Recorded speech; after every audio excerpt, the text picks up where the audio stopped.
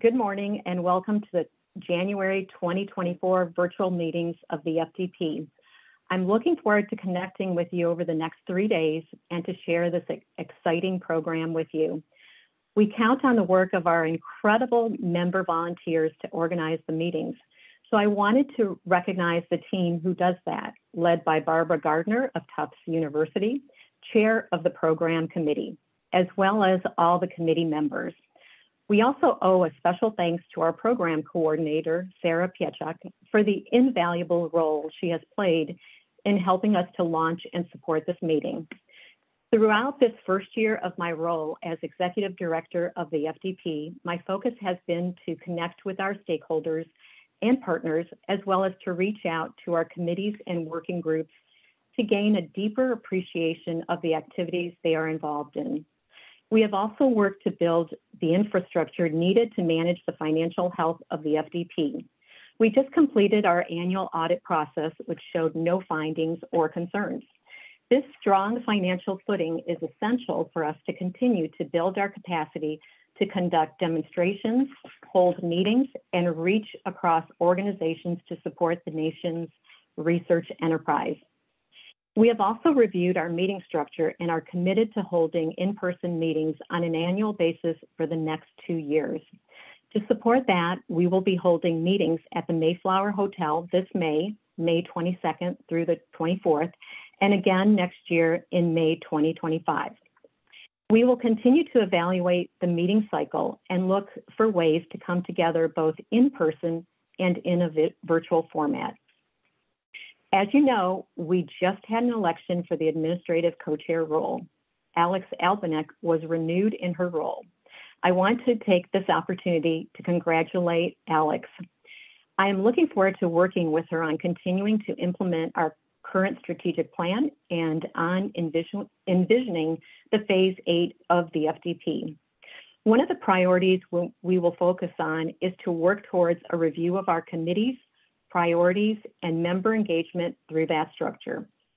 Another will be to focus on the strategic relationship between FDP and the National Academies through our connection to the Government University Industry Research Roundtable that are known as GUIRR and the Division of Policy and Global Affairs. We look forward to we also look forward to integrate the findings of the evaluation process into our strategic outlook. We plan to build on the Communications Committee's wonderful work to upgrade our website and focus our efforts on improving the FDP approach for sharing the results of our work. Finally, we plan to con continue to connect with federal partners, identify focus areas for demonstrations, and find innovative solutions for managing research programs at our institutions. I want to give a special recognition to Tom Arrison, who works closely with us on the FDP NASM ties, and to Michael Nestor, who leads GUIRR. We count on the National Academy's team to ensure the effective implementation of FDP programs and activities. One of the hallmarks of the, of the FDP is our partnership with federal agencies. We have prioritized federal engagement throughout phase seven and continue to work with agencies on our initiatives. We are very pleased that Michelle Bulls, Deputy Director of the Office of Policy for Extramural Research Administration, OPERA, at NIH, has taken on the role of being FDP's lead, lead to connect with our federal partners.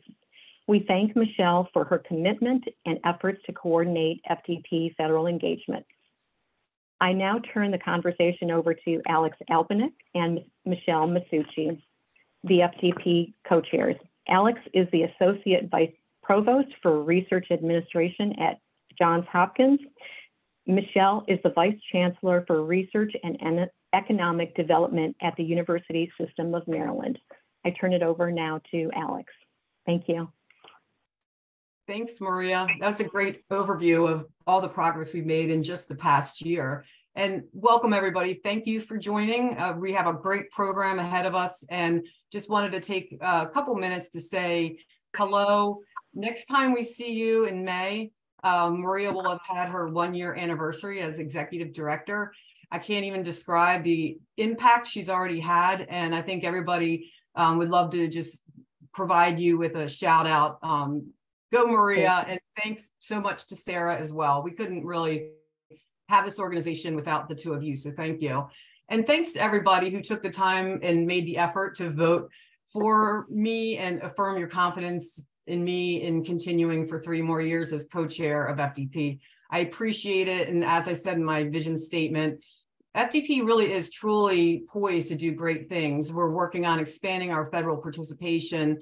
We're um, streamlining our operations, continue, and, and really working to strongly support our volunteers so that they can do their amazing work um, in implementing our demonstrations. I really look forward to working with everybody um, and, and serve as a facilitator to the hundreds of volunteers who are active with FDP and making our, you know, helping us to achieve our goals.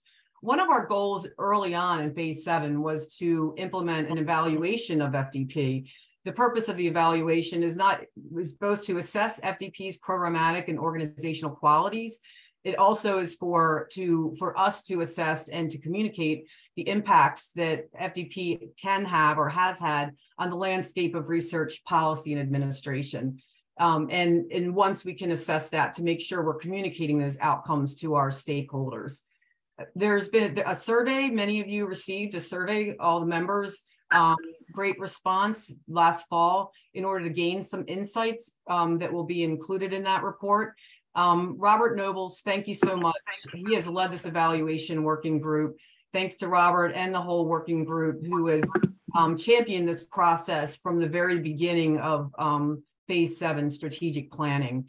Um, he will actually be providing some uh, preview of some of the findings and where we are on the in this overall process this afternoon at the faculty forum. So everybody's welcome to join and hear. And I'd also like to uh, provide a special shout out to the Center for Evaluation Research from the uh, um, from the University of Mississippi for their continuing work on this evaluation um, under Sarah Mason's leadership, um, who's the director of the center. It's just been a pleasure working with them, and I'm so excited to hear what what the outcomes are. Speaking of shout outs, I think most of you have seen our new and improved website um, you know, our communications committee did incredible work on this. They're just a, it was such a heavy lift, but I think everybody would agree when you look at it, it's so beautiful, it's user friendly. Um, I can't even say, you know, I words don't express the appreciation and the impressiveness that I find that website. And they're working now to expand upon that accomplishment. They're working on designing an FDP newsletter, which I think is going to be a great tool for outreach and for keeping all of our members, you know, apprised of all the work that's taking place on a daily basis at FDP. Um, and I think it will help us to enhance the reputation of FDP because it'll we'll have more communications and more tools and resources to educate our stakeholders on all the important work that FDP does. And that's primarily, as we know, through our demonstrations. And just as a reminder, we continue to look for and seek out new ideas um, for demonstrations. We want to, you, you know, create the knowledge that allows us to identify best practices for research policy implementation and to make sure that we're, you know, we have a high quality research enterprise, both nationally and within our own institutions. Um, a gr great example is our active pilot on the um, the data management and sharing um, plan. So we're piloting, as you know, um, uh, a few templates for plans. Progress is, we're making a lot of progress and, you know, a lot of people are participating. And as you probably know, there was just a town hall, I believe, earlier this month. I think it was this month or maybe late last month.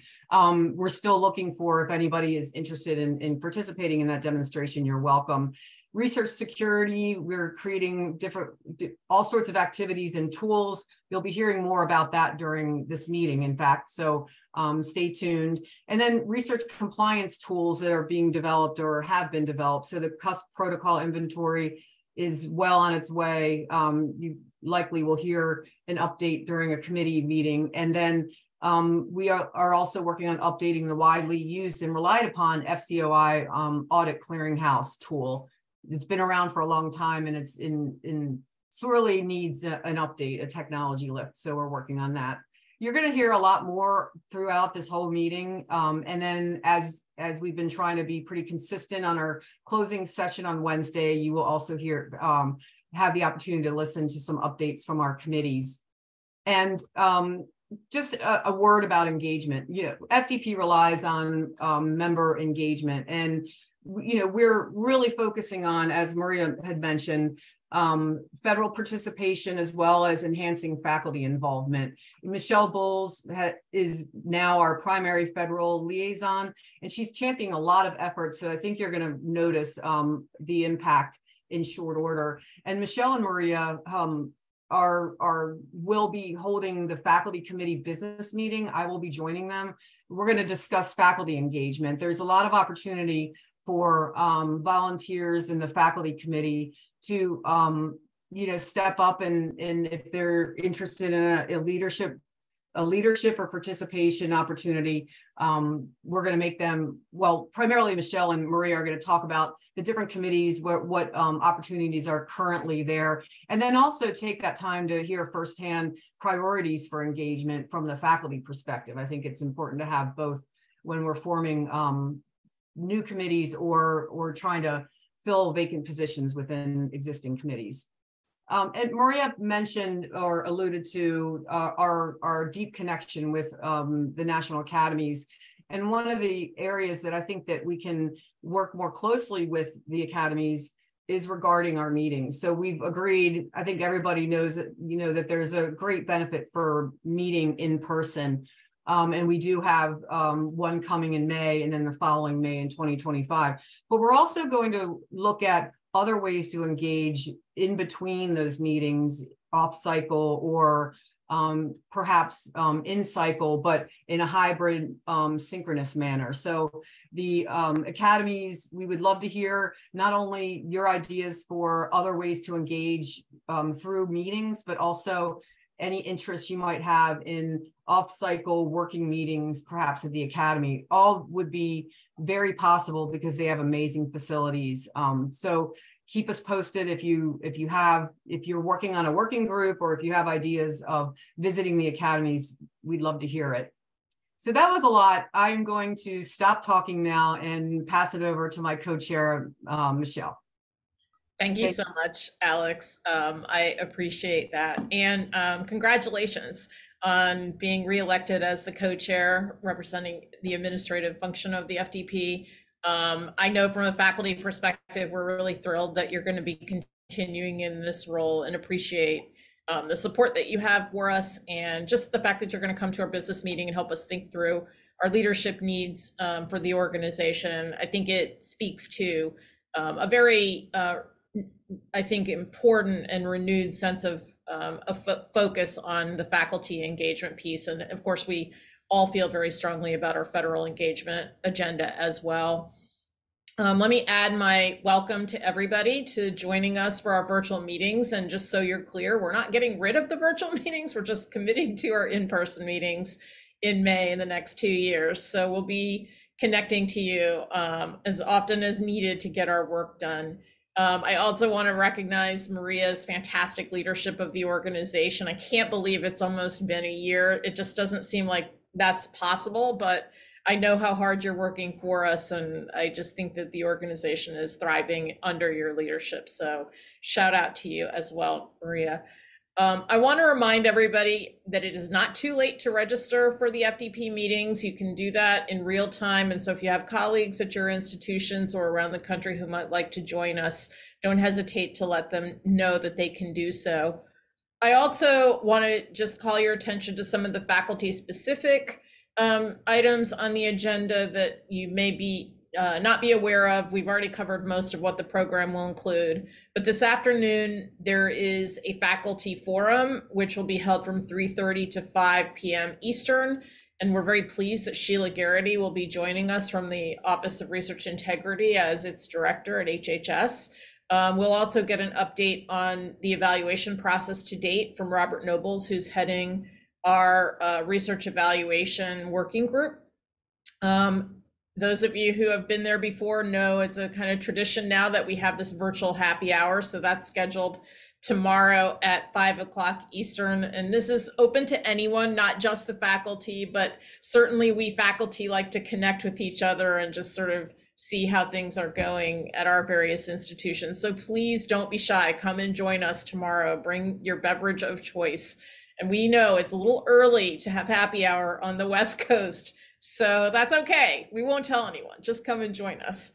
Um, we have a faculty administrator collaboration team meeting that'll be held Wednesday from 11 to 12:15, and this has been an incredibly important um, venue, I think, for us to think carefully about how the work that we do at FDP gets socialized back at our home institutions and how we can also think about where there are institutional issues that need to be resolved that map onto the administrative challenges we sometimes face um, in implementing our grants. And finally, as Alex alluded, we have the faculty business meeting scheduled for Wednesday from 2.15 to 3.30, and it's kind of going to be packed um, because the idea here in light of the many leadership transitions that are going to be happening in the FDP over the coming few months, we want to reinvigorate faculty's engagement with those leadership opportunities.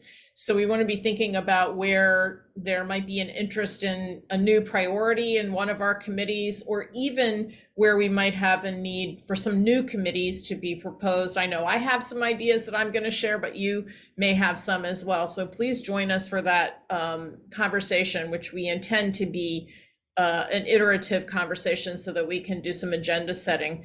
Importantly, at that meeting, we will also be talking about our faculty workload survey plans we're looking to stand up a working group on the workload survey. So for those of you who are interested in being a part of that, please do not hesitate to reach out to me so that we can establish that. We are planning to hold an in-person meeting of the uh, faculty workload survey working group in May, but we'll also be meeting en route to May to plan how we're going to elicit input um, from that group on the new survey design and process.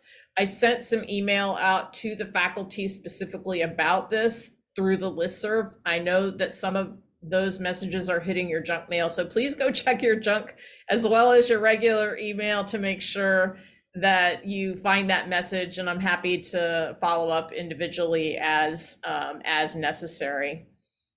In addition to those sessions, of course, we recognize faculty engagement across all of the projects and demonstrations that are showcased in this meeting. I just want to thank everyone for their contributions to that. I want to call your attention to the fact that in December of 2023, the National Academy of Science, Engineering, and Medicine, through its Policy and Global Affairs Division, held a workshop entitled On Leading a Lab Strengthening Scientific Leadership in Responsible Research. This was a workshop that was um, organized under the auspices of the Strategic Council for Research Excellence, Integrity, and Trust, which is co chaired by Marcia McNutt and France Cordova. And that workshop um, was uh, designed to explore new approaches to strengthening the integration of scientific integrity and research ethics into the conduct of research, as well as recognizing how our expanding roles through the course of our careers um, and expectations change as one becomes a research leader. We have a, a very large effort to train people in RCR, responsible conduct um, of research, early in the career, but often we find that there's a gap that happens once you get established as a scholar and as an independent PI, um, but are taking on new and very large and expanded roles of responsibility running labs, running major international collaborations, running research offices, even as many of us do. And yet, there's not very much in the way of training and uh, resources to help guide you in, in how you would um, develop your knowledge and understanding of how to do all of that. So, this workshop aimed to tackle that question um, and really figure out what resources are needed to help um, established researchers expand their roles as leaders, um, directing labs, departments, or collaborations, and how that role is evolving to meet the needs of a changing societal landscape um, that we all interact with, and which will be kind of I believe, a little preview to the the talk that Kelvin will be giving us um, in short order. So we're considering um, how we can connect to that theme here at the FDP. That's one of the reasons why we invited Sheila Garrity to join us in the faculty forum later on today. She was actually a member of the workshop Um, and we look forward to your input on this particular issue. So let me use that as a point of departure to introduce um, our very esteemed guest today, Dr. Kelvin Droegemeier. He is a professor of atmospheric science and a special advisor to the Chancellor for Science and Policy at the University of Illinois at Urbana-Champaign. For those of you who do not know, his expertise is in satellite and radar remote sensing, thunderstorm dynamics and hazards, and weather and climate risk. Um, in uh, prior to joining the U of I, he served as the Regents Professor of Meteorology, the Weather News Chair Emer- is the Weather News Chair Emeritus, and the Roger and Sherry Teigen Presidential Professor at the University of Oklahoma, where he had been on faculty from 1985 to 2023.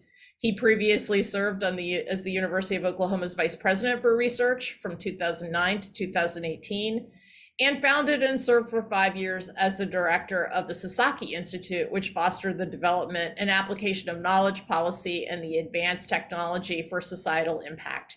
He served as chair of the Association of Public and Land Grant Universities Council on Research Policy and Graduate Education.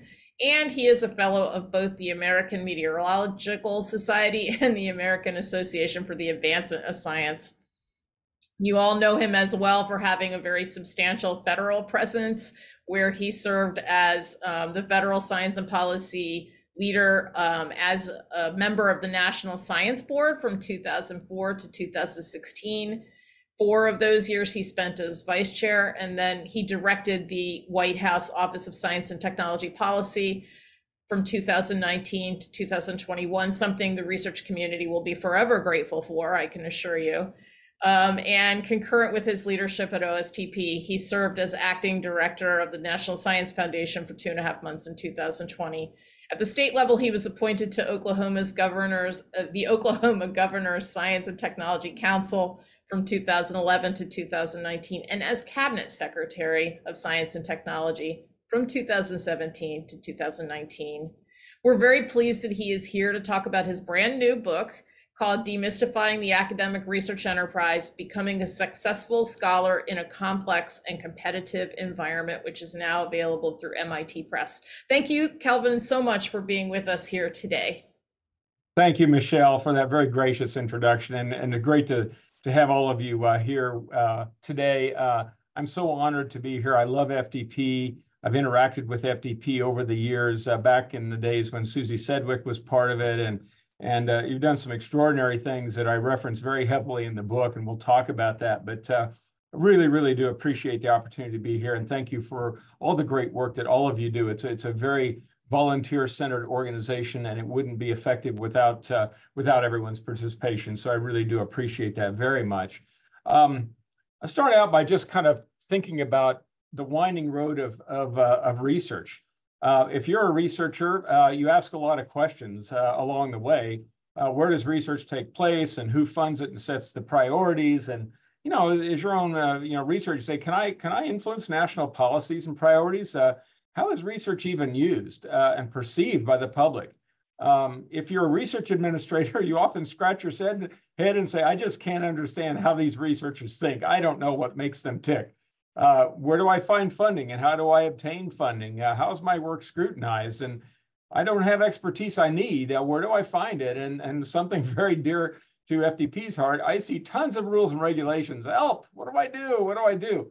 Um, bias and integrity and how do I protect my work and who owns my research outcomes? I've done all this stuff and gee, does the university own it? Do I own it? Does the government own it? You know, who owns all this stuff? And maybe down the road, should I start a private company? And it's not so much down the road anymore for people. We got undergraduate students starting private companies. So there are a lot of questions. And this is just a small sampling of, of the questions, but What's interesting is you go through your education, graduate and undergraduate education, maybe you have a research position, faculty member, or you're in the research enterprise in a variety of ways. Maybe you're a research administrator, pre-award, post-award, research security officer, facility security officer, ethical integrity officer, human subject, whatever it is. Um, typically, and you think about starting that point and then, then you retire. and so that's the long road. And what's interesting is a lot of the things that I just showed you you kind of come upon those things as you go through the course of your career. Um, you're never really taught them in school. Um, things like intellectual property, unless you have a really good advisor that and you're working on something like that, you sort of just look it up yourself and you learn it by doing. You don't really figure it out until you need to. And that's not a bad thing necessarily, but suppose we could sort of flip the script here just a little bit and take all that stuff that you learn over the course of an entire career and you put it on the front end of your career to empower you earlier on in your career to be involved in things that typically take you 15, 20 years of experience to learn. Suppose you got a hold of that and really, really internalize it and were, able to use it earlier in your career, that would position you not only to be involved in other things, but maybe be more successful and have a broader view of the research enterprise. And so that's, you, you know, the thing is, you think about researchers and stuff, that's, that's sort of the pathway they walk, but it's not just about researchers. You think about research administrators in the broad context of what that term even means. You know, are we are we really intentional enough in developing the future of our research administrative workforce? I think a lot of people, and I was vice president for research at almost 10 years at OU and was over pre and post award and all this kind of stuff. And, you know, a lot of people we'd hire, they never really thought about doing research administration. And it's kind of like being a VPR. Sometimes people wake up and it's like, oh gosh, I'm the vice president for research now. What do I do?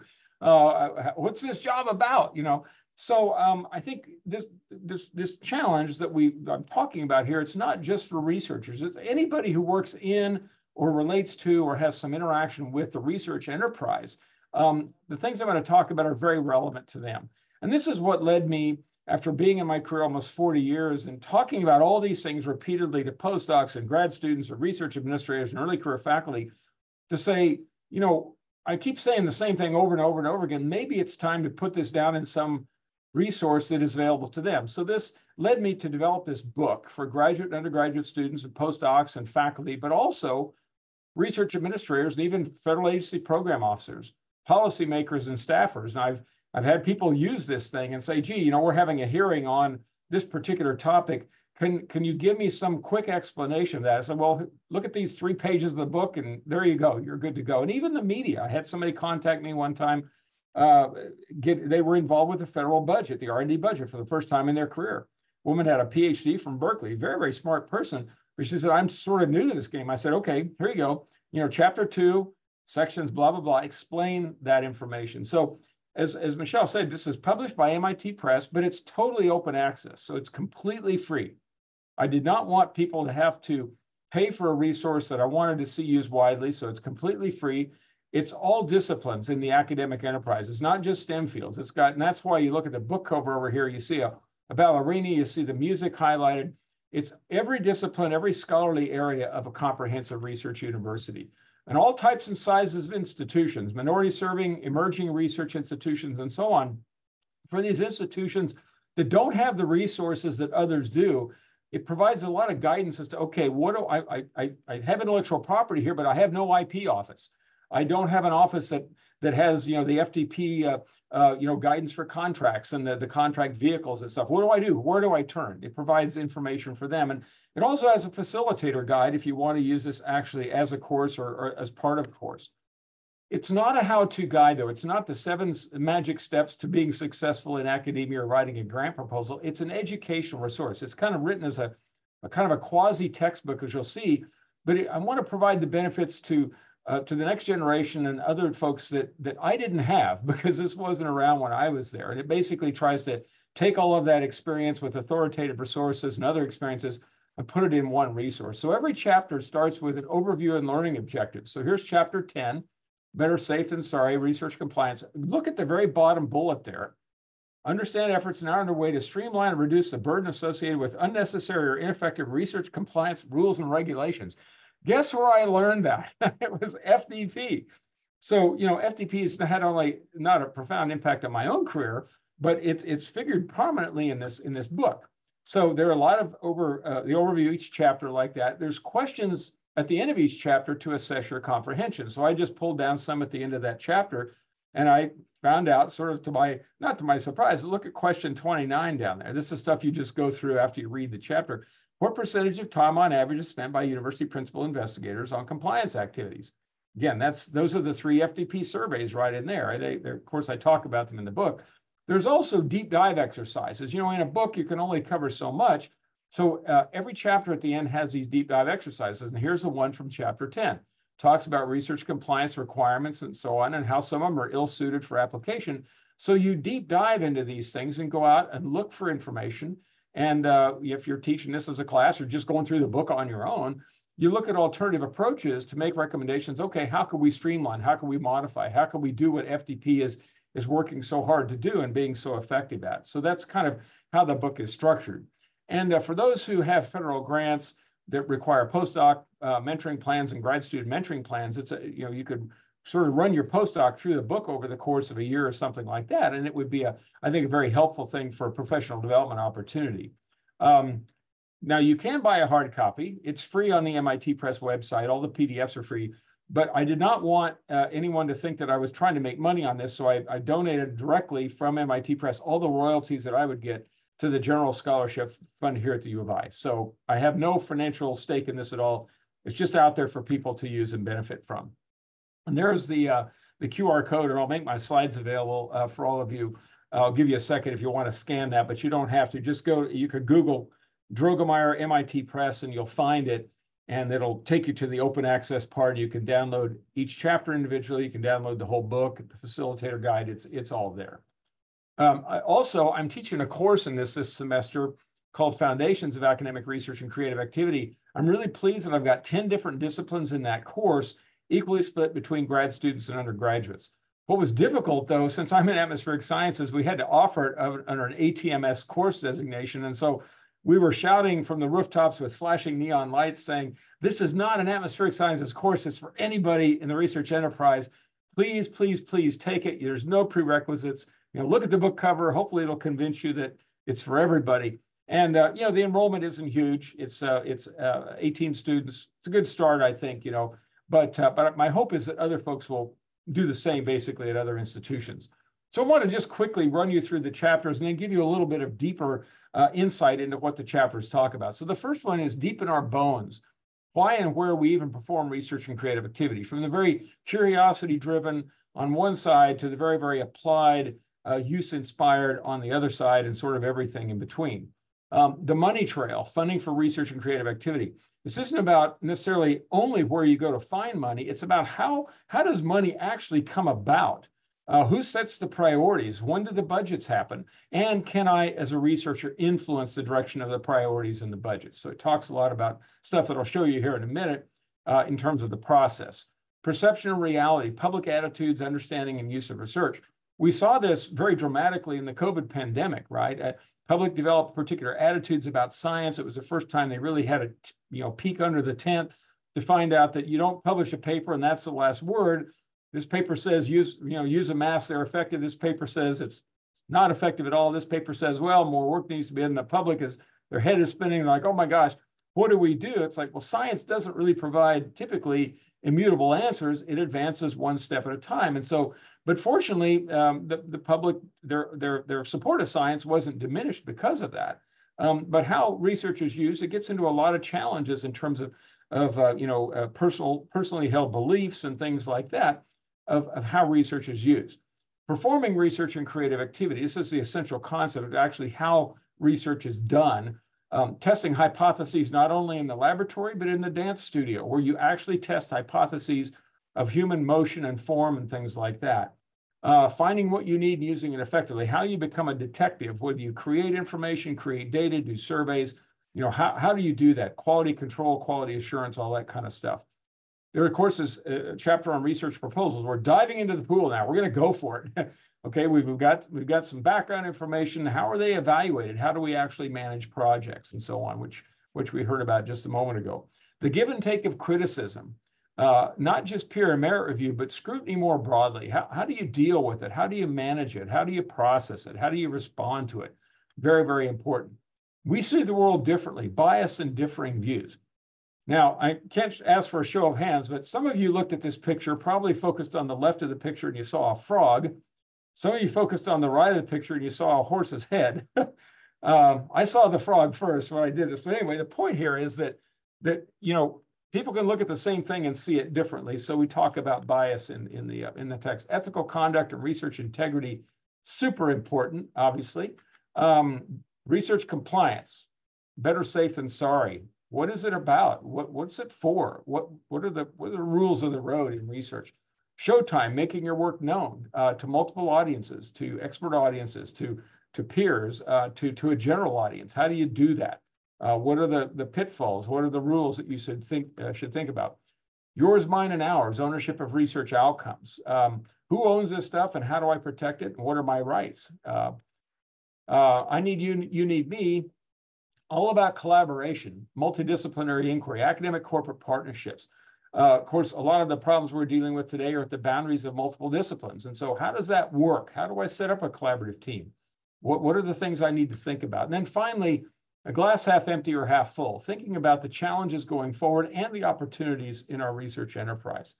Um, I like what Harry Truman down below said uh, in the bottom there, a pessimist is one who makes difficulties as opportunities, an optimist makes opportunities of um, his or her difficulties. I think that was really, really a good statement. Um, I really like this quote about the book because it encapsulates what I was trying to do. It says, knowledge it took me an entire career to acquire over the whole course of my career, but now is accessible not only a single resource, but at the front end of a career so that it empowers people to do more than they could otherwise. So I'm going to just walk you through very briefly the content of, of the chapters, spend a little bit more time on a couple of them that are especially relevant to FDP, and then we definitely want to have time for Q&A. So deep in our bones, uh, talk about this, this sort of spectrum from research to creative activity. Um, you know, when I was VPR, uh, I had to really win the trust of the folks in the arts and fine arts and humanities because I'm a physical scientist. So I talk in terms of their scholarship, not in terms of them being researchers, because they don't think of themselves as researchers. So you have to find the right terminology, but understanding that's important. Then, of course, the whole spectrum of research. We talk a lot about that, uh, from very basic to very applied. Uh, you know, where research takes place, all the different places uh, that it that it occurs, and why it occurs there versus some other place uh, teams, large centers, uh, the sources of research funds. Where, where does the research funding actually come from? And how did it evolve to be the way it is? You know, back on the left of that graph in the, the early to mid and late 1950s, it was dominantly the federal government. Now it's just the opposite. Industry is doing a lot, uh, a lot more than the federal government in terms of, uh, of funding. And, you know, some people say, well, it's a bad thing. Some people say it's a good thing. I think you need a balance. And uh, I think that shows the success of translating federal research outcomes into benefits for society, which is what industry does. Of course, curiosity versus use inspired and boundary spanning problems. And also, this is something I think that, the emerging scholars need to understand is how universities, uh, how they actually support scholarly work. And of course, so in the book, I talk about the structure of academic institutions. And then down toward the bottom, the vice chancellor or the vice president for research, the senior research officer, uh, which a, a minority serving institution might be an associate vice president, might be an, a dean or associate dean. So, it, you know, it, it's not always called the same thing at different types of institutions. Most of those positions are well understood by faculty, but the VPR position typically is a little confusing because different institutions deploy it very differently, and it varies a great deal across institutions. So if you look at the broad roles of the vice president, the vice chancellor of research, it's all the things you see here. And the reason I talk about this so much in the book is because a lot of times folks early in their career don't interact with this office, with this organization, including students. And there's opportunities for them to do so, but they simply don't know about it. And, and we're not the best in terms of research uh, senior officers to reach out to those, those groups. It might be the dean of the graduate college or maybe an individual advisor. And so the tissue, the connective tissue is not very strong. But, but obviously v, VPRs and VCRs do a lot uh, of different things. And uh, uh, they're responding oftentimes to what faculty need. Now, we faculty are pretty needy people. we need and we want a lot of stuff. And so the vice president, the vice chancellor of research has to think about all these different things. And so when I was thinking about all this, I undertook an exercise that I wanted to do for a long time, but I, I didn't do until recently. And I did it partly because I found out that I'm consulting for NSF. I'm, I'm actually doing a paid consult for NSF. And uh, I found out that a lot of folks uh, at federal agencies don't tend to have a, a, a deeper understanding of what happens behind the scenes when you submit a grant proposal at your institution and then the funding happens they, they see it more from the PI point of view, but it's a fairly narrow perspective. So uh, I did this thing. It's a little bit crazy. You'll see here, but in blue, why don't I show you a researcher activity? So the first thing on the left is the drivers that influence how researchers think and some of the needs they have. That's the previous slide. And then some of the things like incentives and rewards and professional organizations and priorities of federal agencies, that drives researcher thinking. And then they, they create ideas from that. They, they get, they ideate, they develop ideas. And then agency activities in purple sort of come in here. Like, for example, there might be a solicitation. Maybe you're talking to agency staff, program officers, and so on. And then the researcher adds their own knowledge, previous work they've done, their own interests, you know, maybe opportunities that are out there. And all of a sudden they have an idea for a grant proposal. And so they develop that idea and ultimately turn it into a proposal that gets submitted. Now, that's a pretty, pretty straightforward process. That's kind of the lens that a lot of researchers will, will look through. But if you start to add in all the university research services and activities that support this, this is, I think, hopefully will be interest uh, of interest to FDP. For example, research development that, that looks at people's career goals, helps them put proposals in the context of where are you going? Uh, what are the broader impacts of your activity? Thinking about you know knowledge generation and sharing and, and, and pre-submission rules and roles and things like that. And then of course there's pre-award proposal services and institutional support. Hey, I need matching support. I need I need this and that. Um, then you've got technology commercialization and corporate relations that come in because if you're submitting a proposal that has potential for technology development, you want to let your tech office know that. And also corporate relations, if you're going to interact with a private company or maybe there's funding opportunities there, great. And of course, there's institutional compliance, export controls, research security, human subjects, you name it, it's all over the place. If the proposal declined, then it goes back, you know, kind of revise it potentially. And if it's funded, then you negotiate the budget. Now you get into post-award financial services. And if you get funding from the institution, oh my gosh, a whole bunch of other stuff now comes into play. Uh, post-award financial services, compliance, all this kind of thing. And uh, then ultimately, researchers do their thing. They purchase equipment, they hire students or whatever. And then in red is the outcomes. They publish papers, they create new knowledge, and so on the reason I did this was to show people, especially faculty, but other folks, all the different dimensions of support that come into play when faculty, pardon me, or other researchers, pardon me, um, actually even just submit a proposal, develop a proposal. And so FDP is all over the place in here, right? It's everything you see in green, and then a lot of stuff even you see in purple at the agency, uh, in the agencies. So anyway, uh, a fun exercise. It's pretty simple-minded, probably not entirely correct or complete, but something I thought was kind of fun. And, and I think as I shown it to folks, they sort of said, oh, I didn't realize there was all this stuff that went on. Um, okay, chapter two, the money trail. Uh, talking in the book about uh, the agencies or the different segments, seg sectors of, of the research enterprise that fund different types of research. Uh, private foundations, of course, as well. And, uh, you know, again, talking a lot about not just the STEM fields, but all these other organizations that fund it talking about uh, how different disciplines have different amounts of funding, with, with uh, biomedical research being very, very high, uh, and how research budgets are determined. And I do a deep dive on this because I really want folks to understand uh, a lot of the, the pressures that exist at the federal level on the budget. So I go into the R&D planning and the federal budget in some degree of, of detail here. And so basically talking about how things have changed, because if you look historically after World War II, you know, it spurred a lot of basic uh, and applied research in the Manhattan Project. That's really kind of how the, the you know, today's agencies, uh, NIH is much older than NSF, but came into existence. And of course, academics left their institutions at Chicago and, and Stanford and, and Caltech and places like that. And they went to work in these, these areas uh, where the, uh, the Manhattan Project was taking place. So um, after the, the war, uh, now all of a sudden, you know, the Allied victory, it's like, wow, these folks are pretty cool they uh, they were incredibly valuable to uh, to winning the war, and so uh, we ought to do something to support them. Now, prior to that, uh, academic R&D was funded mostly by uh, tuition and philanthropy, but but after the war, the government got into the funding game, but a lot of institutions were very wary of this because they said, well, if the if the government starts funding us, then they're going to be controlling what we do. Uh, well, that sort of happened, but it, it it it ended up in a good spot, I think. And of course, NSF was founded with Vannevar Bush's uh, uh, treatise, Science the Endless Frontier. And uh, of course, funding to academia grew dramatically over time. Uh, in the golden age of the uh, the 80s, it grew dramatically, and, and it still continues to grow. But we are challenged, of course. And I talk in the book about uh, you know this this growth and different dollars, constant dollars, uh, current dollars, things like that. But I, I really deep dive on this chart from AAAS to talk about the so-called entitlement programs, which are we're entitled to receive because they're they're in law.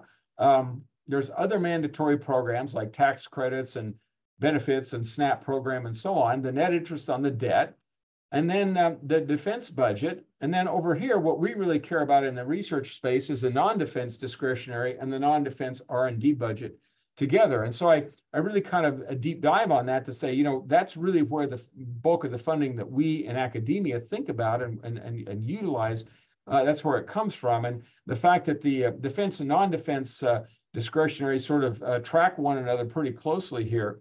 And uh, if you look at how that, that non-defense spending breaks out, here's all the stuff that's in there, but the research part's about the science part and research is about 11%, 10, 11%.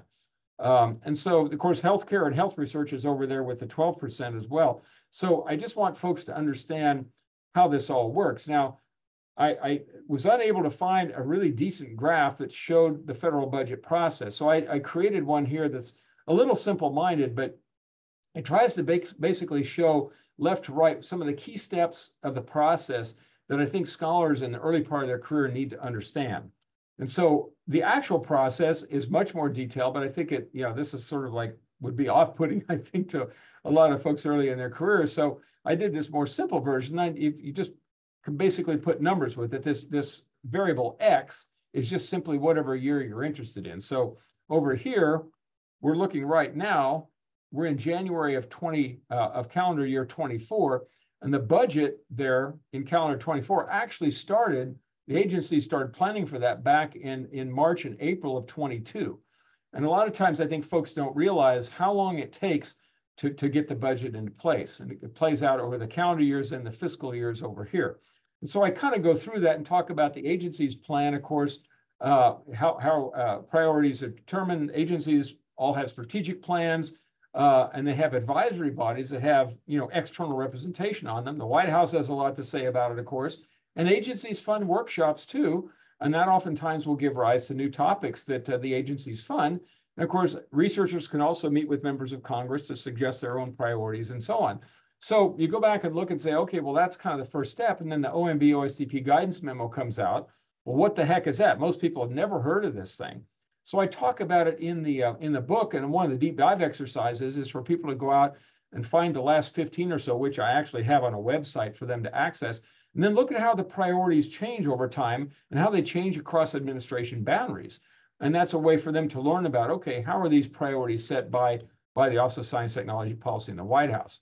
Then the president releases uh, uh, the budget. And of course, it's a, it's a very, very broad uh, budget uh, with some detail in it, but it provides a broad strokes. Um, it's, it's, you know, it never sees the light of day typically because it's never on the same page with Congress. But the point is, how do, how do uh, individual researchers and academic societies and professional societies advocate for this budget? And they do that, right? Uh, and, and, you see all the different kinds of organizations, they write letters and so on. And then, of course, individuals can meet with uh, folks on the Hill. And uh, here's just an example AAU and APLU, just to show folks, uh, you know, and this is from my class, you know, how this actually works. Uh, and it's not just these organizations, but it's also individuals. Then, of course, uh, we have all the congressional hearings and the budget resolution. that talks about that in the book, Congress having the power of the purse. I just want folks to understand some some detail of that, especially authorization and appropriation, and the fact that appropriators are the ones have the, the power really, uh, and they're called cardinals, of course, in Congress. And so I, I, talk a little bit about that and give examples of in how, for example, uh, these agencies are authorized by House Science, and then there's the uh, House uh, CJS committee is the Appropriations Committee, and the Senate has its counterparts. And so by, by talking about these things, which some people could find awfully dry, I try to spice it up in the in the book a little bit by giving some contemporary examples and through the deep dive exercises and saying, hey, if you're reading the book right now, go look at the website. We just had a the, what the third CR taking us to March, so you can see what's happening right now in the context of what's in the book. And then of course, Congress passing a CR. Uh, it talks about how long it's been since Congress actually passed 12 appropriation bills. It's pretty rare. And so it's been a long time. It used to happen more frequently than it does now. Uh, and then, of course, the earmark. I talk a lot about the earmark and what directed spending is and what it means. People hear a lot about it. They don't really know what it means. And, and in my class, I ask people about this and they've heard the term, but most people have no idea what it means. So um, I also talk about finding money, uh, you know, giving some practical experience of how you can sign up on federal agencies, visit websites, you can go to grants.gov, you can look for BAAs, you can, you know, put in your keywords and you get all this information. there's no lack of ability to, to get information like this these days. And of course, private foundations also sometimes issue calls for proposals uh, under very specific areas and very specific priorities. So I want them to not just think of federal agencies, but also private companies. They're not they're not funding organizations, so they don't issue calls for proposals. And you have to build a relationship with them. And then we talk about that in chapter 13. So chapter three, perception and reality, uh, we talk about the social compact with taxpayers that we are, uh, and this is where compliance comes in, of course, that uh, in exchange for the taxpayer dollars that fund the agencies, uh, there is required ethical behavior, responsible conduct of research, and so on. Um, and talk about how the funding for uh, research has, has changed over time and how it goes kind of inverse inverse proportion with state appropriations to universities in particular, public attitudes. Uh, show this graph that shows the scientific community is right next to the military in terms of public support. Uh, Congress is still a bottom feeder there, maybe not surprisingly, and this has not really changed appreciably in the pandemic, so that's really good news. Uh, belief systems and ethics, uh, very important. We talk about that. Use of misuse of results in policy, uh, you know, sort of spinning the results or, uh, you know, taking them out of context and, and how does that happen and what are the what are the the, uh, the outcomes of that and then roles of research and creative activity in society talk a little bit about um, the uh, the technology commercialization process and how research flows from you know the the fundamental research to the commercialization and scale up this is the the, the kind of the old old school school linear model uh, where you know fundamental research begets applied begets development. And that's really not how the real world works. It's much more complicated with reentrant areas and things like that. So I, I talk about that that first model is not flawed, but it's just it's not really uh, depicting what really happens these days. I also talk a little about uh, the arts and the creative side. You know, why do we make paintings of things that we can take pictures of? And I talk about the creative intent of the artist and how how it preserves culture and, and it gives greater depth of meaning and intent versus just taking a photograph. Not that photographs don't do that, but paintings do it in different ways. So some of the essential concepts, the, the general framework for research. Again, I'm not going through this in any detail. I'm just kind of giving you a flavor for this in terms of qualitative frameworks, quantitative and mixed frameworks for research and uh, how they really uh, work, how they're designed and structured. The social behavioral science is quite different, oftentimes from the physical sciences, from inductive to deductive approaches. The scientific, whoops, sorry, the scientific method the general method, indigenous methods, historical methods, citizen science, all the different ways, uh, approaches in which we do research, uh, like citizen science, for example, and then, of course, research and education, uh, which is very, very important, the interlinking between those two, because they're very, very tightly coupled together. Uh, and then, of course, serendipity in research. Some things happen by chance, and uh, the discovery of penicillin, for example. So talk a little bit about that. And when do you chase something you think might be a total dead end, but but if if it if it works, wow, it's going to be transformative. And then of course, reproducibility very very important. Uh, finding what you need, sources of data and information. Do I go out and collect data, for example, with a radar? Do I do uh, uh, do I do interviews? Do I do I collect data in a classroom through clinical trials, whatever? Primary and secondary sources, quality control and quality assurance, which are a lot of times really confuses people. So really try to to make that clear. And of course, synthesizing information. Uh, how do we bring it together? Different disciplines call it different things, but bringing together information, very, very important. Diving into the pool, um, components of grant proposals, talk a lot about this, the various dimensions of a grant proposal. Uh, some of the deep dive exercises have, have the reader go through the process of actually developing at least an out, maybe to start with an outline of grant proposal and then putting meat on the bone and so on, or working with our advisor on a grant proposal um, talks about uh, the different uh, uh, dimensions of a budget, for example, some of the, the sort of the, the art of writing competitive proposal and sharing the cost of research, research cost sharing, talk about that a lot, and do a deep dive in F&A because it's so confusing to a lot of people. And, and so really do a deep dive on that to make sure that everyone understands what it's about. Uh, evaluation processes, I talk about merit review a lot.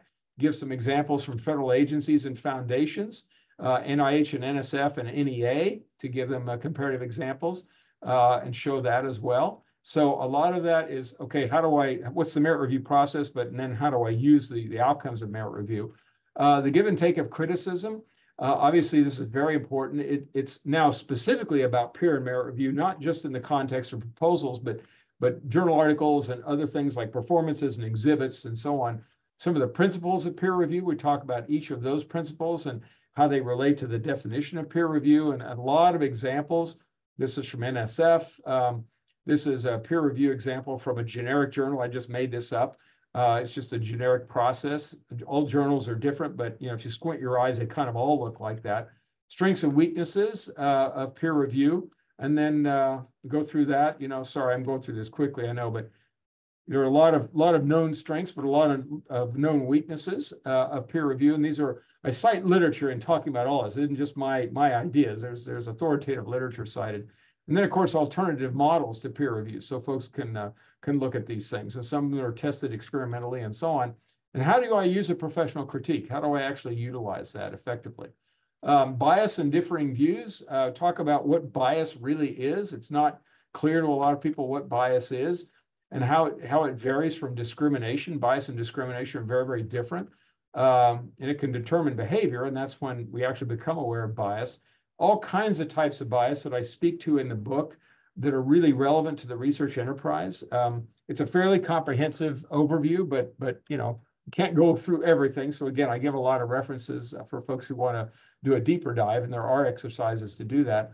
Um, how it shows up in our work, um, a lot of the work being done, we still don't completely understand it, and uh, how views of research obviously differ. Uh, and this is true in academia for example, people who publish, say, in a business school have a very different, uh, you know, sort of tenure model than somebody that publishes in the in the natural and physical sciences. So the views of research and publication stuff differ pretty dramatically. And of course, we saw that in the pandemic, and I talk about that. And I talk about the Golden Fleece Awards and federal fumbles and so on, where uh, there are sort of uh, misguided criticisms about research, but some of them are are true. And so we have to own up to that. And I talk about having a broad view and taking a broad perspective. Honesty is about policy, of course, ethical conduct. We talk a lot about that in the book, and the trust, standards of behavior, accountability, and how this relates to the um, to the public support that we we enjoy through the social compact with taxpayers, and uh, how, in terms of of research, we want to be free from political influence, uh, things like that. Talk about tenure, and really, really focus on the the importance of values. When I was at the White House, I talked a lot about this. I still do because we don't message this enough in the academic research enterprise and the research enterprise broadly. The fact that it's about integrity and objectivity and openness and transparency and accountability. And so when you think about international collaboration, folks coming to America from other uh, other nations who maybe those folks didn't kind of grow up in the environment of values that we have, it's up to us to to uh, model those values, to teach them those values, to show the importance of those values, and talk about them, and talk about what uh, happens if you if you don't follow those values, then very negative consequences that can happen. So ethics and morality and research misconduct, I talk about that as well. And how do I actually develop and maintain an ethical program of scholarship? Um, I'm doing a lot of work with NSF as a, as a, consultant on research security. And again, the values are at the core of that. And uh, ethics and rigor and so on are around that. And of course, that sort of defines what research integrity is. Then research security basically is, is the mechanism of protecting the research integrity that is so important to the conduct of research. So at NSF, we like to say we want this to be sort of as open as possible and as secure as necessary. We don't want to overreach. We don't want to tie our own hands because if we do that, those nations who are trying to um, uh, inappropriately influence our research enterprise sort of already win because we overreact and we create administrative workload on ourselves that's really has no practical value. And that's, I know, something very dear to, uh, near and dear to FDP's heart. Um, you'll see these graphs in the book a lot, uh, better safe than sorry research compliance. Um, I talk about this a lot in, in the context of the universe of research compliance and knowing the rules and how to follow them. And, you know, this could be a really, really, really dry chapter, right? I mean, oh God, research compliance. But I try to make it interesting by, by relating it back to the fundamental tenets of conduct of research itself. So talking about how the sort of the universal research compliance is all of the things you see here, And if you relate it back to investigators, the language that they speak and how they work, instead of saying, you've got to comply, we say, if you comply with research, which goes to the fundamental values of the scholarship you're doing, you live by those values, right? Oh, of course I live by those values. Then it, it becomes important to upholding the values that allows them to do the research they want to be doing in the first place. So it kind of is a different way of messaging, I think, the issue of compliance in a way that the research will researchers will understand and not push back against. And of course, everybody understands the importance of compliance. The question is the research administrative workload that FDP has uh, has identified over three cycles of its surveys, uh, 42 to 44 percent, is is just uh, extraordinarily large. Making your work known to multiple audiences, of course. Um, uh, how do you do that? You know, communicating with expert non-expert audiences and how, how to do that's very, very important. I talk a lot about public access, open access, open science, open scholarship, um, and what that means. And the open, open publishing models, the open access models, various different flavors, the green access, gold, and so on. Uh, so folks understand that and understand you know why they exist and uh, what the you know what the uh, the rules of the road are for that and why you should think about doing it and when maybe you shouldn't do it. Um, the ownership of outcomes, kind of a similar sort of thing, is obviously extremely important. In fact, uh, um, I, I, had the dean of fine arts at OU tell me one time that a lot of unscrupulous agents will take great advantage of, of folks in the arts if they develop scores of music or if they develop, you know, a, a play or something like that or whatever. Um, they assume they're not going to know anything about intellectual property, and so they basically come and just, uh, uh, uh, you know, basically take it out of their hands, and that's really unfortunate. So um, the point here is to learn about this sort of thing uh, up front. And so I talk a lot about what IP is, uh, what it's not, uh, what can be protected, and then the processes for actually protecting it. Again, relating back to people where they work and live, not just some dry reading about rules and, and regulations in patent law or anything like that. Um, then as we round it out here and finish up, uh, boundary spanning problems. Uh, these are typically very distinct disciplines. Uh, that most of the, not most, but a lot of the problems we're, we're dealing with today that are quite interesting, I'm going to show you one here in a second, involve these disciplines coming together. And how that happens a lot of times uh, is, is confusing to people. So we think of unidisciplinary, where each discipline sort of stands on its own. You have multidisciplinary, where the disciplines come together and simply interact. You have interdisciplinary, where the disciplines are now not only interacting, but they're sharing, uh, you know, mechanisms and things like that. And then you have transdisciplinary, where the disciplines come together to actually create a whole new framework built upon all of the disciplines or most of the disciplines put together.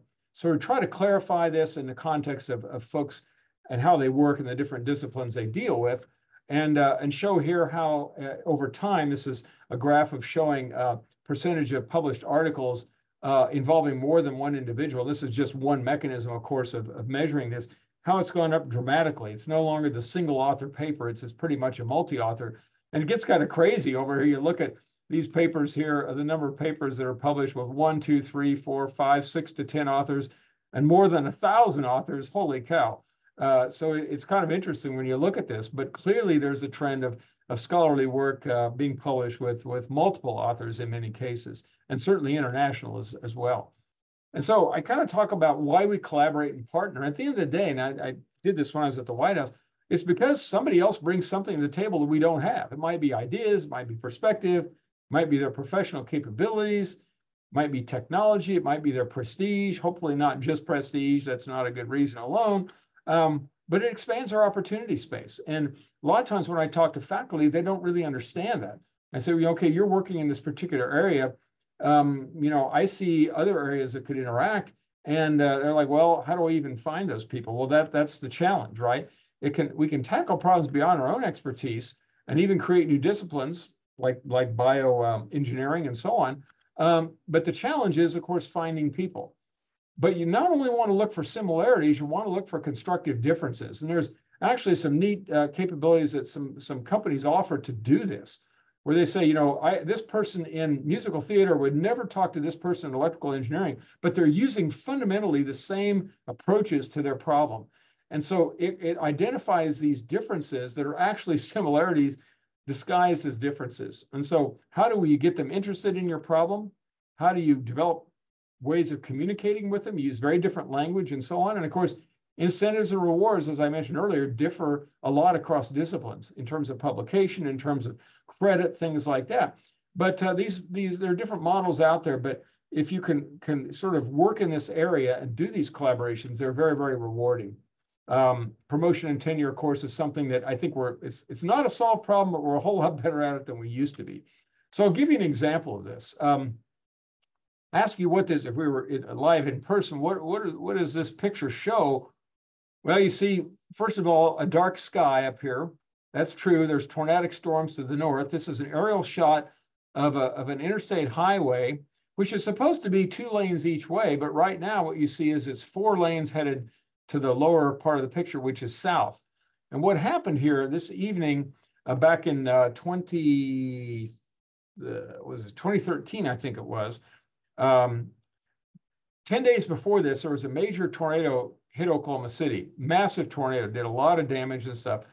Then 10 days later, on Memorial Day weekend of this year, I think it was 2013, Another tornado with very similar characteristics was bearing down on the city, and basically, folks were told, uh, mistakenly so, unfortunately, if you um, if you if you stay in your home, you're probably going to die. So everybody, not everybody, but a lot of people get in their cars and they flee to the south, and there's sort of this panic because a four-lane highway, or excuse me, two-lane and two-lane uh, north-south turned into a four-lane southbound highway the public did that. the law enforcement didn't do it. People just did it by driving the wrong way to escape the threat, the wrong way on an interstate. Um, what's the significance of that? Well, you look at this picture. I'm going into my discipline just for a second now. This is the uh, um, 1953, 519 people died in tornadoes that year, and you see the tornado tracks here. And here's the technology we had at that time. Those of you who are maybe a little bit younger, that thing in the upper left uh, center is a phone. It's a telephone. Um, the lower left is a television. That's what we had. We had no national radar network or anything like that. That was 1953, 519 people died. Now look at 2011. There were 550 people died that year. And here's the technology we have. Now, granted, there were the population was much bigger, okay, but the technology was dramatically advanced. So you ask yourself, well, what, what's going on there? Why did we see so many deaths? And the answer to that is that back in this day, we were thinking of this as a meteorological problem. Today, we think of it as an integrative meteorological, social sciences, behavioral sciences, anthropology problem, a technology problem, but also a human behavior problem. Because at the end of the day, you're dealing with human beings here who make decisions to do things in certain ways that you think probably aren't the best way to do it. And so only how, how can we keep people from dying? The only way to do that is to study this problem in its totality, which is a very interdisciplinary, very transdisciplinary, multidisciplinary way to keep people from dying in tornadoes. And we, we sort of woke up to this about 10 years ago. And uh, now this, this is being done in a very integrative way. So I kind of think of a collaborative framework like this is sort of the rays of light coming into a lens. This PP means project participant. You think of a project, you got one person, one person, two person, 10, might have a large number of people. The lens is the project that focuses them on the project goal here. So they all say, okay, I see the goal. I'm, I'm an MD Anderson scientist in imaging. I'm an MD Anderson scientist in biochemistry. I'm an MD Anderson scientist in clinical care. But what is our goal? Cure cancer. Boom. That's the single goal. So as this lens focuses the rays toward the goal, the individual person's contributions go toward that goal, but their career path advances. So their career goals advance at the same time they're working on a project. This is really key to collaboration because a lot of times people think, well, if I collaborate, I'm not going to get credit or my my career is going to sort of founder. It's like, no, no, no. If you do it the right way, your career advances in a very dramatic way. At the same time, you're you're sort of helping uh, move toward a, a, very large project goal. So that's kind of how I, th I, think of that. Then finally, the book ends with a glass half empty or full. And you know, there are a lot of challenges, a lot of opportunities, funding, global leadership, support for arts and humanities, promoting scholarly values and principles, and things like educational attainment, student capabilities on the global stage. Are we producing, you know, students that are ready to go to college and so on? Diversity, equity, inclusion, belonging, um, accessibility, things like that. And then, of course, balancing security with an open scholarly enterprise, very, very important. A lot of opportunities, right? Uh, very, very important problems out there that are ripe for the picking. And so we're, we're we have greater capabilities now than ever before in terms of all the tools available to us to address some of these huge challenges. And you know, how can we join sectors together to work together more effectively and reducing the administrative workload? You know, when I was at the White House in the middle of COVID, we did a proof of concept. We got a we got a vaccine in 11 months. How do we do that? We didn't we didn't circumvent the rules and regulations. We didn't compromise safety or integrity or openness or accountability. We didn't do any of that. We basically said, you know, that report can wait. Oh, this thing, you know, that's not important right now. And this is what FDP has been, been preaching for a long, long time. We did a use case in the middle of a, a global crisis. And the question is, can we do that now? Because we have that proof of concept. We've done the existence theorem. It's been shown. Can we, can we do that? I, I really think we can. But I think the biggest opportunity, honestly, is for those who are the next generation scholars to, to come forward and hopefully this, this book will help them uh, be, be more successful earlier in their career. It will empower them to do things they couldn't otherwise do. And so I just want to uh, uh, tell you a couple of quick things here at the end. Um, there's a chat assistant that was just now customized for the topics in the book. And I came upon this just last week. So our Center here for Artificial Intelligence Innovation created this chat capability, and it's been trained using not only all of the materials in the book, the book itself, all the PDFs, but about 40 different websites that I gave it, including FDP and NIH and grants.gov and research.gov and all, the, whole tons and tons of websites. And uh, so you can type in a question and it will return an answer. And there's the, uh, the link. Um, if you just, you know, go to the link, you'll see it, but I'm gonna, and I'll give you the slides again. Let me just show you, um, oh, there's a QR code. Let me leave that up for just a second because I'm almost done. We'll have 15 minutes for Q&A. But it, it's pretty fun. Now, I want to say that this morning, they're, they're changing and vastly improving the, the back end of the, uh, of the engine. So um, what I'm going to show you here will look differently if you type it in this afternoon, probably. Um, but let me just show you a screenshot. I typed in, how can research administrative workload on faculty be reduced? And here's what it came back with. And what's cool is, of course, it mentions FDP. Now, what's neat about it, it gives the references in the book, and you click on this, it'll take you to the part of the book where this is, this text appears. But what was not working quite right, I thought was, well, how about all the other stuff I put in there? So I talked to the people here at the university. I said, oh, there was there was a problem. The system wasn't working right. So they're now, you know, redoing the whole back end and putting in a new system. And it's they're doing that today. So if you type this in and a lot of other stuff now, you ought to get a different answer that would be much more complete than this one is. But this is specifically for the content in the book, and I'm using it in my class as well. So let me just finish with this. Um, in the afterword of the book, I, I talk about research and creative activity and how they accomplish three important things. We saw this in the pandemic. They inspire us a lot. Research inspires. The, the, the first picture of a black hole shadow was very inspiring.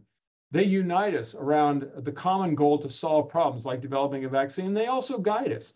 Research guided us to develop a vaccine and a lot of the other therapeutics, basic research that was done 20 or 30 years ago on, fundamental work in RNA and DNA and sequencing. And, and now how about distance learning? Well, that work didn't just happen. That happened a long time ago. So a lot of that, that good work that was done, we benefited from. So I personally think that, that sort of the scholarly enterprise is one of the last systems we have in society where those values that I talked about are cherished and modeled and they're preserved. And, uh, and I think that we in the research enterprise have to sort of remain the North Star for humanity, how we can work together, how we can debate vigorously, how we can sort of just go after it and then go out and have a beer together. That doesn't exist. I don't see it in Congress. I don't see it in companies. I, I think the research enterprise, because it's foundational to the conduct of research itself. You can't do research if you don't bring people together with diverse ideas, if you don't respect people, if you're not open, research doesn't happen. You can't do research without that. So I think it's important to talk about this, but also to model it. We do it all the time, but let's make sure that it's noticed. I think that's extremely important. So I want to thank you all in FDP for the tremendous work that you all do.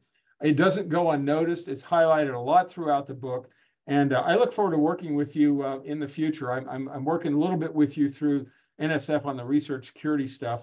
But, uh, but let me tell you, it's what you do is extremely important and it's valuable and it's uh, it's getting used. But there's a lot of work to be done, as we heard. And so hang in there, uh, keep fighting the good fight, and we'll uh, we'll all get there together. So so thank you so much, and I hope we have uh, have enough time for questions. We do.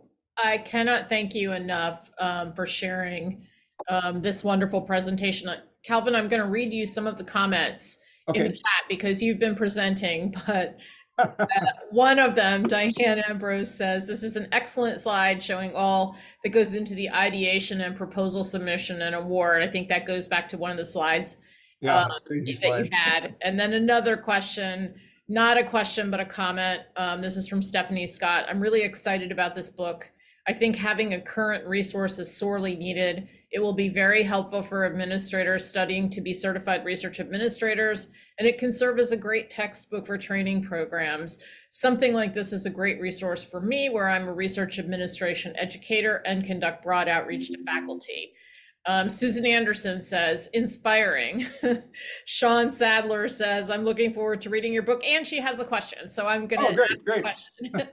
Awesome. um, this seems US focused. Do you address international collaborations and the administrative work that comes with multinational research efforts, such as research getting funding and or using research facilities in other countries? Do you describe the administrative work to support international research?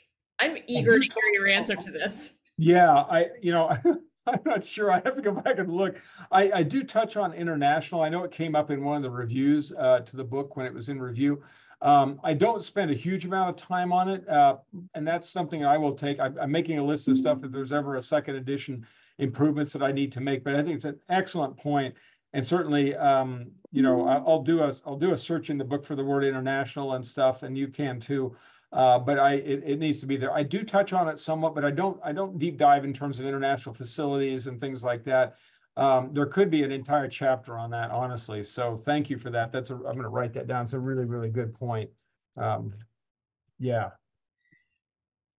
We we have some participants who have been raising their hand, but but I direct you to use the Q and A um, so that we can um, use that as the channel for moderating questions and answers. So please take a minute and do so. And in the meantime, Kelvin, I'm going to take the liberty of asking you um, to give us a little bit more insight about the challenge that you see in um, what faculty who are involved in interdisciplinary and transdisciplinary research in particular face in terms of this balance between I'm doing work in this team and multidisciplinary, interdisciplinary, you know, um, transdisciplinary framework, but how do I get credit for it? Because credit, you know, is it's really tricky, right? Am I getting credit as a scholar in the field I was trained in, or do we have to do an education process with administrators who are responsible for implementing merit review and P&T review? I'm just really curious about your thoughts about that particular issue.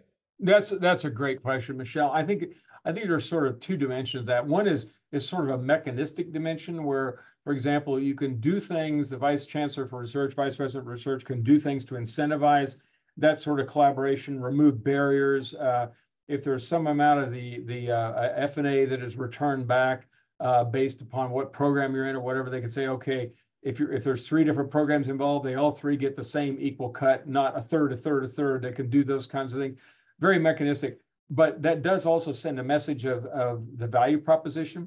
The other piece of that would be, as you say, to educate folks. The provost is really, really critical in this, and the deans uh, to to basically saying we value this kind of scholarship in, in our tenure promotion processes. We're going to have something in there that speaks to this issue. Uh, a lot of times, my experience has been it's the the older, later career faculty who basically push back pretty hard against this stuff and are very resistant to it. So folks who really want to see this happen need air cover from the deans and, and the, the provost in particular. Um, also, one way that this happens, I think, is in interdisciplinary centers and interdisciplinary uh, institutes that sit outside of a particular academic program. And so they typically, although they, they don't, they don't sort of necessarily control the credit, they're, they're, they typically are pretty powerful because they do bring in a lot of resources or they're, they do a lot of great things. So they're, they're, they're valued. And so they can have a, an important part of the conversation to say, you know, anybody that works in this in this center, uh, this institute, or whatever, their department has to agree, their college has to agree to this, this, and this. So a lot of times that will give air cover back to the provost to say, hey, this is a grassroots effort now bubbling up. People want this kind of thing.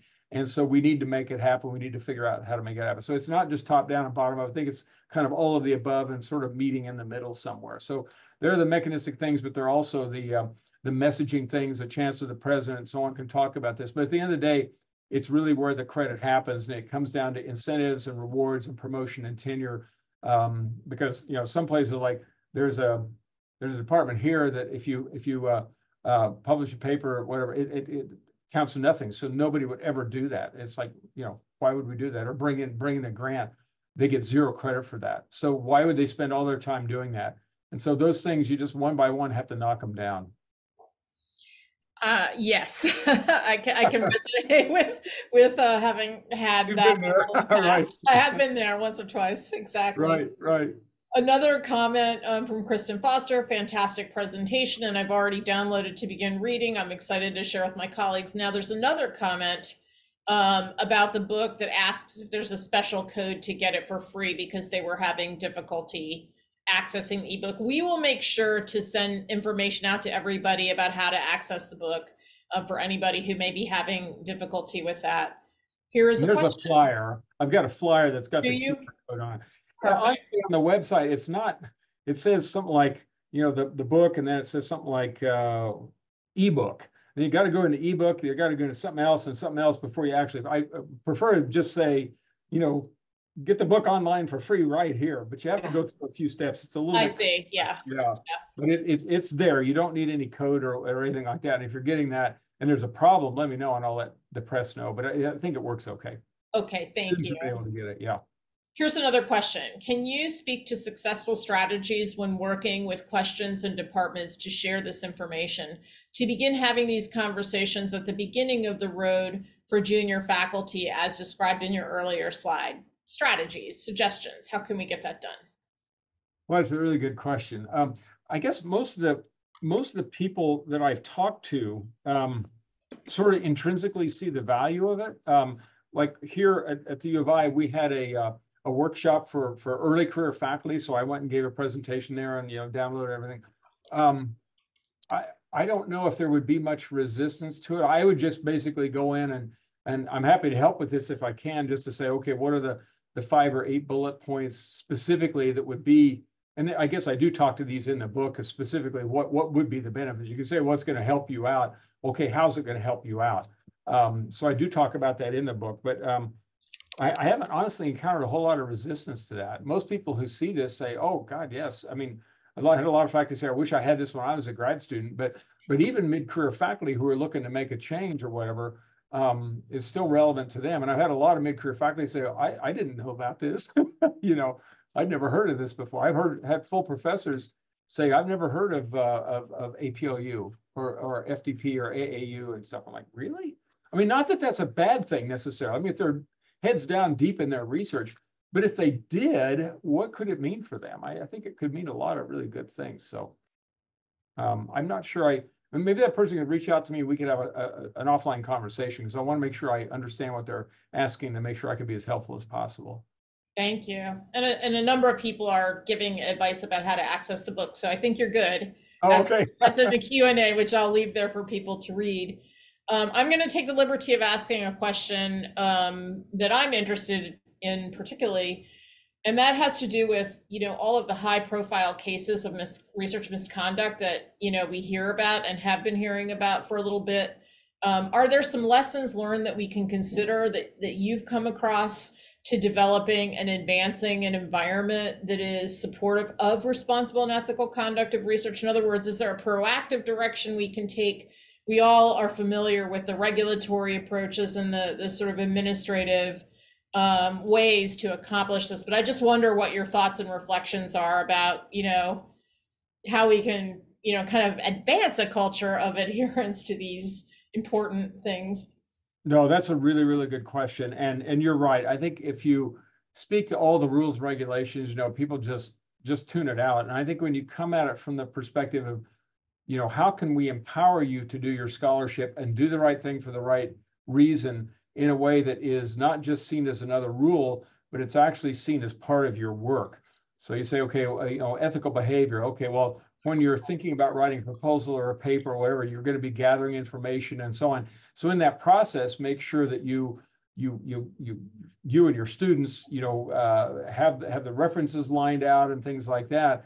And that's that's part of actually learning the the you know the, the landscape of the literature, doing an environmental scan of, of of literature and things like that. I think most people most people obviously behave in the right way, and and those who run afoul of research misconduct uh, some some do it just absolutely intentionally. There's just no question, and, and I don't think there's a whole lot you could really do because they're just they feel the pressures. I think another thing is is the issue of pressure. If you can say, look, we're going to create an environment that that incentivizes you doing the right things versus you feeling like you've got to skirt the rules to get ahead.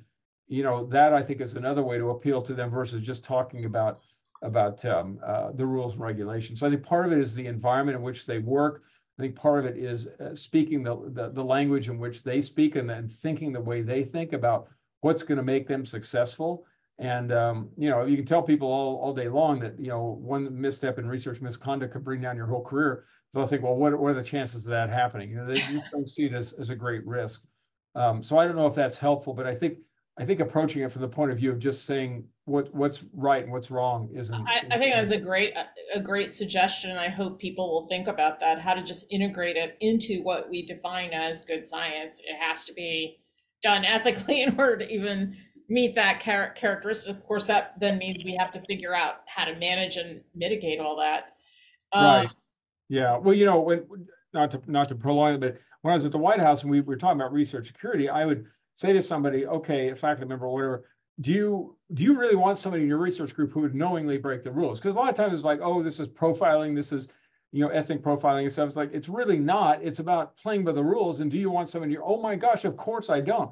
Okay, well then what is it you're going to do to help them learn what the rules are and know the consequences, but help bring them into the enterprise and tell them that integrity is part of doing research. That if if you if you fabricate the results on this drug you're developing or whatever, people are going to die. Are you going to do that just to get tenure? Typically, people will respond to that and say, "Oh, yeah, I didn't, you know, I didn't quite get that." so I think talking in that language is is a way to go. But we have to model it much more than we do now. There is a comment um, from Shauna Sadler that says, I don't see anything. She loves, she's looking through the book. She doesn't see anything about digitally persistent identifiers, um, but she thinks that that's something to add to the next book and she's Okay. happy to help. So there's information there. And I'm going to turn it over to Alex for the last word.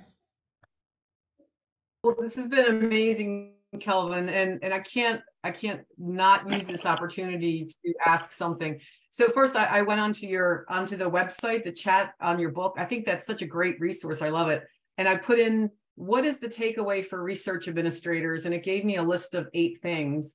And one of them I think is interesting. I'm going to point it out because you're uniquely situated, right? You've been a- an academic, like researcher, right? So you're a scholar you've been a university leader and you've been a federal official leader um, official and a leader and so number two they said the number of research compliance rules and regulations has grown dramatically over the past 30 years. And in many cases this is many this is coming from chat gpt in your book many cases these rules are hampering research without meaningfully driving behavior in a desired direction administrators need to be aware of these challenges and work towards reducing researcher administrative workload, which is FDP. So from your unique perspective that we, you know, is pretty unusual, what does that mean for us as FDP? What should we be really focusing on to do this?